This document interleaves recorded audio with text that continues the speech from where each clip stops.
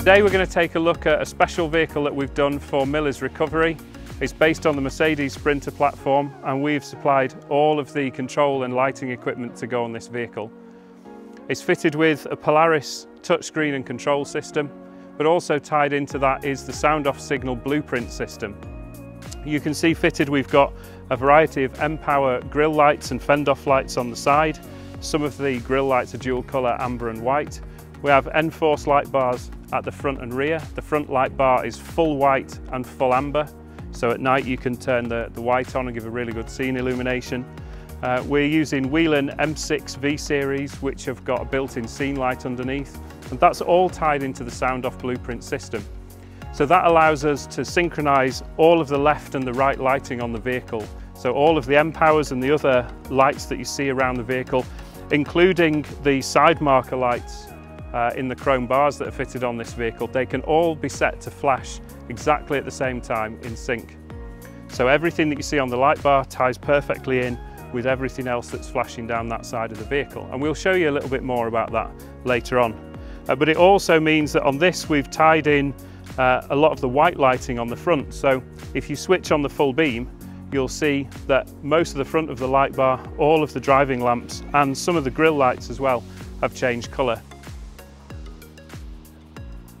But in the cab of the vehicle we've fitted a Polaris touchscreen and you can see here we've got controls for all of the lighting, the amber lighting functions and controls for all of the white lights. You can also see there we are controlling uh, some of the signs in the cab, the hand wash, there's lights underneath, there's also an air compressor, uh, 24 volt and 230 volt power and a diesel heater. Uh, and in this case we can control the, the, diesel heater, you can see the ambient temperature and the set temperature there. You can also see the voltage of the chassis battery uh, and the auxiliary battery. So we can switch on, for example, the inverter, which gives us uh, 2 kilowatts of 230 volt power. And we can also easily turn on all of the lights, the white lights around the vehicle. Everything is displayed in one place. In the back of the van, uh, there's all of the inverters, chargers, 12 and 24 volt battery systems, but that's all stored away under the racking, so we can't really show you that, but we can probably put some pictures in of it. Uh, but we've fitted an extra touchscreen on the back, which again gives battery voltage information, and we can turn the lights on inside, control all of the power systems, and we can also turn the scene lights on uh, outside the vehicle, which means the driver doesn't have to get back in the front to turn all the lights on. So it really gives us full control of everything on the vehicle, including the air system, all in one convenient place. At the back of the vehicle, you can see we've a 54 inch N-Force up at the top, and we've got 4 inch M-Powers down at the bottom uh, both of these are dual colour, so the whole of the light bar and the M-Powers can go from amber to white.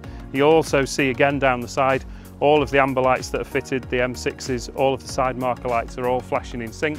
And that's again because we've got blueprint fitted. Uh, within the light bar there is an arrow function so we can turn on the right arrow.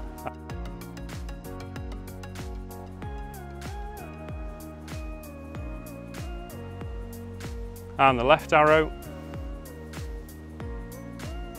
So the other great thing that we can do is switch on all of the white lighting on the vehicle and you'll see now that the corners and as well if we turn on the rear of the light bar and all of the scene lights.